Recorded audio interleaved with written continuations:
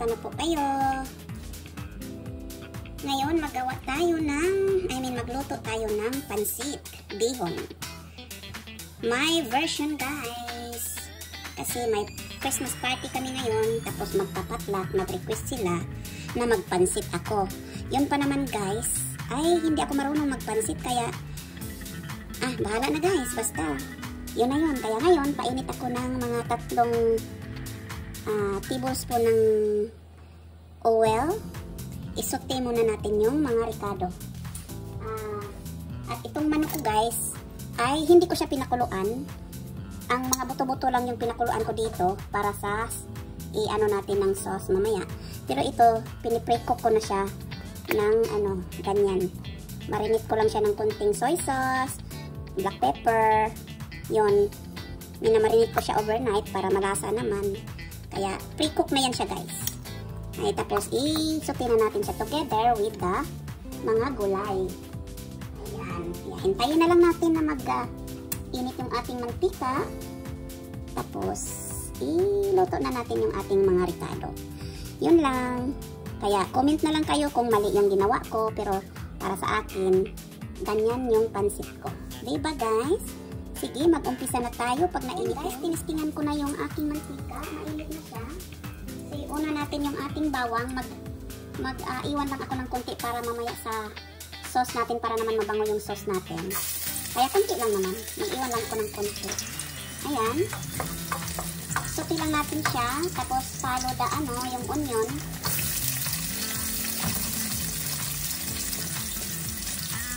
Then guys, suti natin.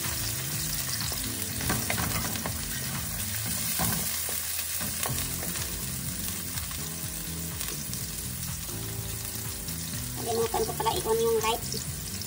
Ayan, para maliwanag.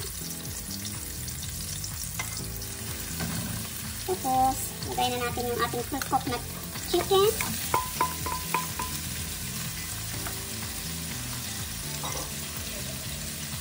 Meron pa ditong konti.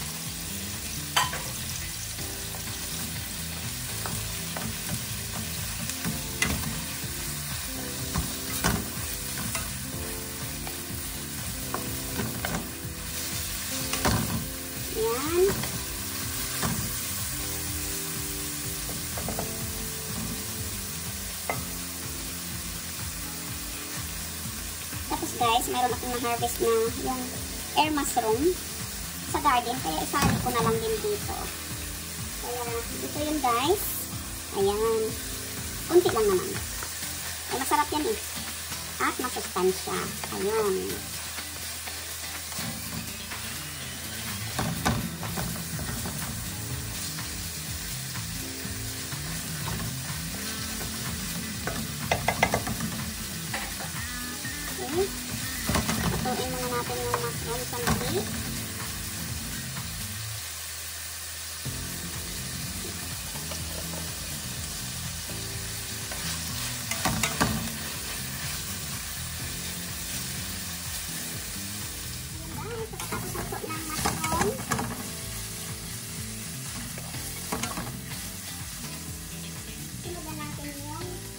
Ibang mga ricado. Pagsabay na natin guys yung green beans, carrots, bell pepper, ayan. Ano na natin yan? Sunod na natin. Half cook lang naman yan guys. Kasi ayaw ko yung vegetables na nadodorog na overcook. Yan, ang bango guys. Ang ganda na niyan, tingnan. Diba? Sandali lang yan. Thank you.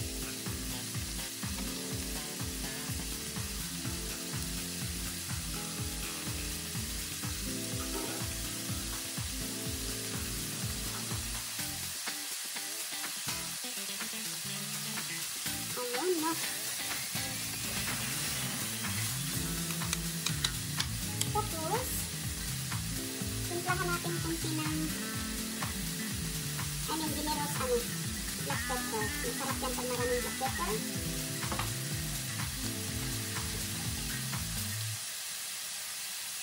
Kunting vegetable seasoning.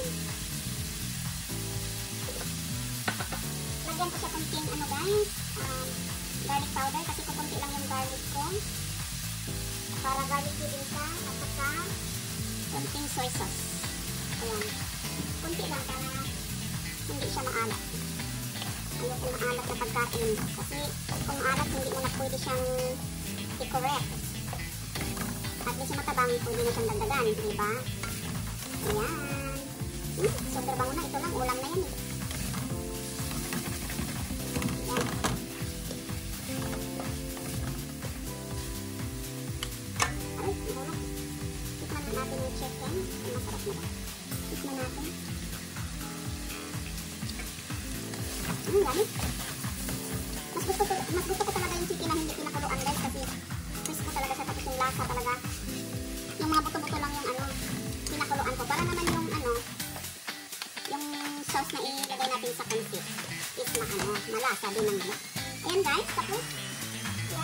Cabbage natin.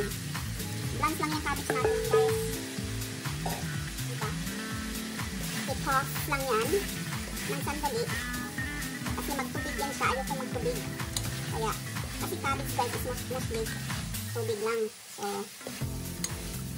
ayun. Ay, ang ganda na niya guys. Diba? So, isahog natin to sa pancit noodles mamaya. Tapos, mag-iwan tayo ng kunti para topping. Oh, diba guys?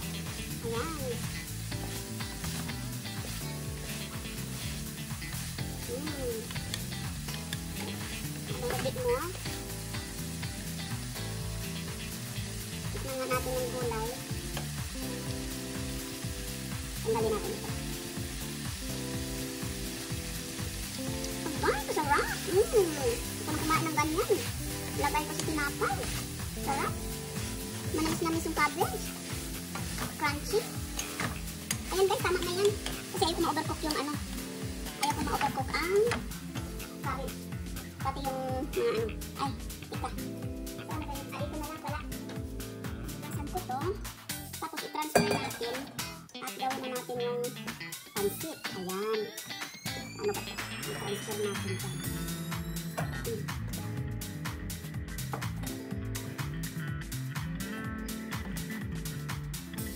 Kasi yung pinag-isahan natin guys. Yung pinag-isahan natin dahil laki, mabigat.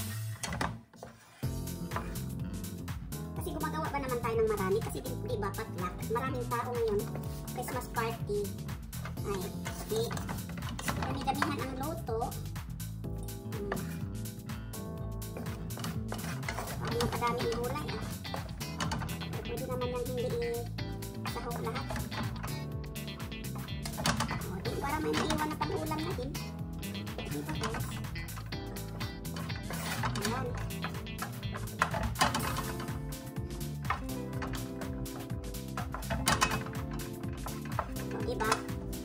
Malinis na yan. Hindi ko na ito bukasan kasi nandyan pa rin yung mga lasa ng gulay. So, ayan. Ito na lang natin yan. Lagyan konting mantika. Uy, ayan. Mga one and a half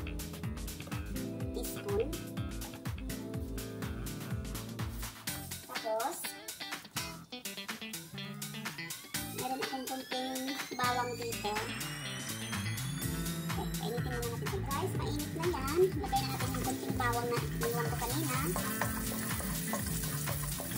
Brown lang natin. Para naman mabango yung sabaw natin.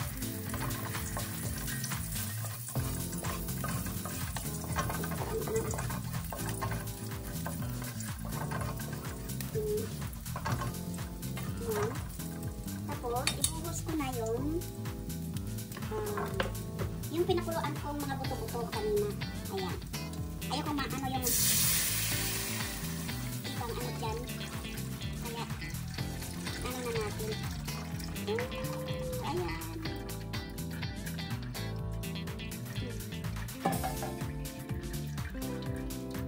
Diba?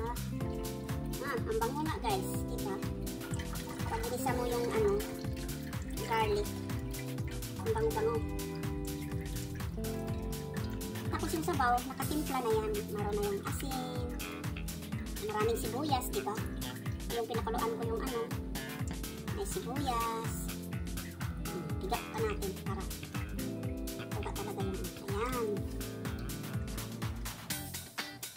Lang natin yan guys, tapos i-adjust natin. Kukunan ko yung kunti. I-dahan-dahan lang natin yung para hindi makainigon. Ito. Yan guys, kumukulo na yung sauce natin. Ngayon, timplahan ko siya konti ng soy sauce kasi hindi natin mag-aasin. May mayroon na yung konting asin. So, soy sauce na lang para sa kulay. Yan, konti lang. Kaya sabi ko nga, ayokong maalat na pagkain. Kaya, tapos lagyan natin konting black pepper. Vegetable seasoning. Ayan. Haluin natin.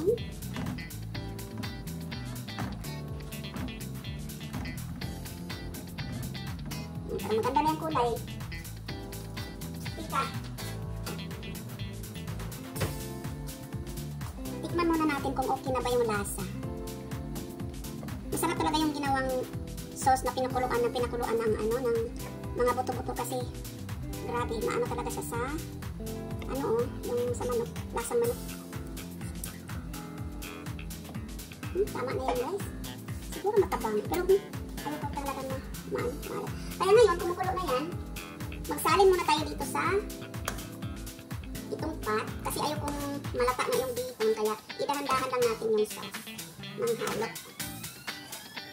Kaya, para guys, hindi lata yung ano, actually, hindi bihon yung ginagamit ko ngayon eh. So, tanghon. Kasi mas gusto ko yun. Hindi siya talaga yung malata. Oh, ayan, napadami ko lang. Okay, so tapos. Adjust ko yung, ano, i-adjust ko yung medium low heat para hindi tayo masunugan.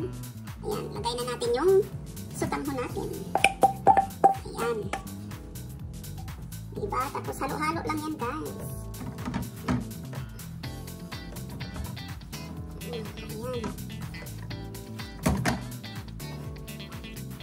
Halo-halo hanggang sa matuyo. Halo pa mo para malasa ng sabor. Ayan. Diba guys? Cooking is just science. A little bit here, a little, little bit there. Diba? Ayan. Hanggang sa makuha mo yung consistency. Hmm, yan. O diba, natuyo na siya guys. So, ngayon, lagyan pa natin ulit. Kasi hindi pa siya talaga yung gusto natin ma-achieve na kaanuhan. O, diba? Tapos halo ulit.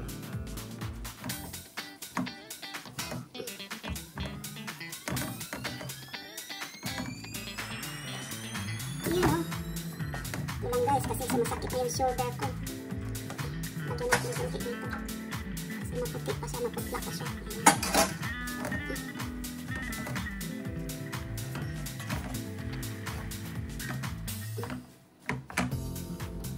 Gaganon lang yan guys. Uy! Nangalay na yung shoulder ko. Kasi yung sutanghon guys is a little harder to work with the bihon. Pero yung nga, sabi ko mas gusto ko to eh. Mas masarap kasi ito siya. Kaysa doon bihon. Kasi guys, ang hirap ba naman dito sa US, maghanap ng bihon na yung kagaya talaga sa atin. Minsan talaga yung magaling mapanis. Minsan yung galing, ano, China na bihon. Parang gina, inaano na lang yung sa Pilipinas. At saka malayo yung Asian market sa amin. Kaya ang ano na lang makakilap ko dyan. Na ito, timing. Ito na lang. Ay, ang bango na.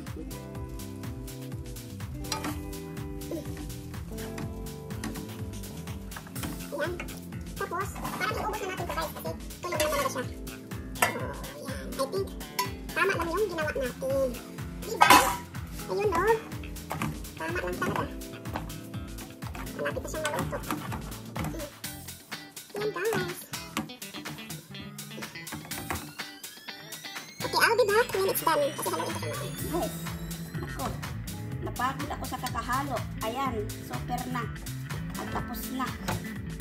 Ko na talaga siya. At saka luto na talaga siya, guys. Kaya ngayon, ilagay natin tong ating soteng vegetables. Tapos mag-iwan lang ako ng kunti para itapping naman natin, guys. Ayan, o. Oh.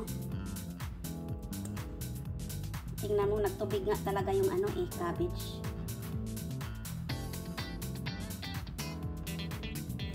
Yan, so patayin na natin yung ano, I mean, i-off na natin yung fire natin kasi hindi natin gusto ma-overcook na yung mga gulay natin. Kaya, ganyan lang guys, ito naman na siya. Tapos, halo ulit. Halo-halo ulit. Ayan. Diba guys?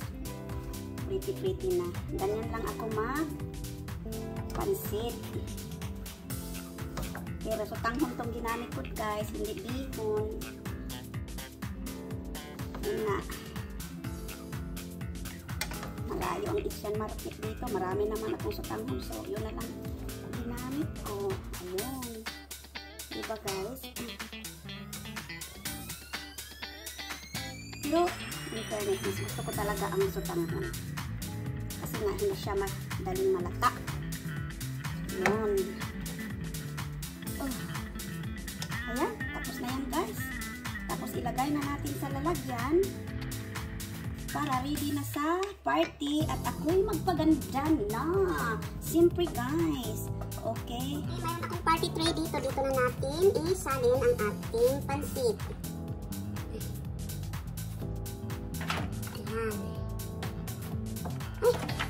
Naku. Diba? Hmm.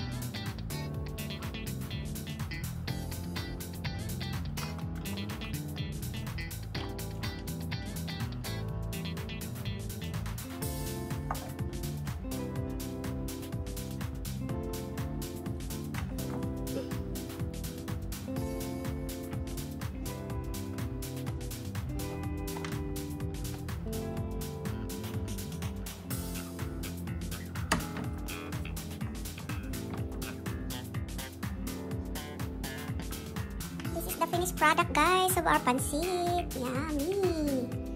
Hmm, ang bango. Okay, that's it. Ready to go to the party. See you later, guys. Bye! Maraming salamat sa pag, ano nyo. Maraming salamat sa panonood. Don't forget to share and subscribe, guys. Maraming salamat po. Bye!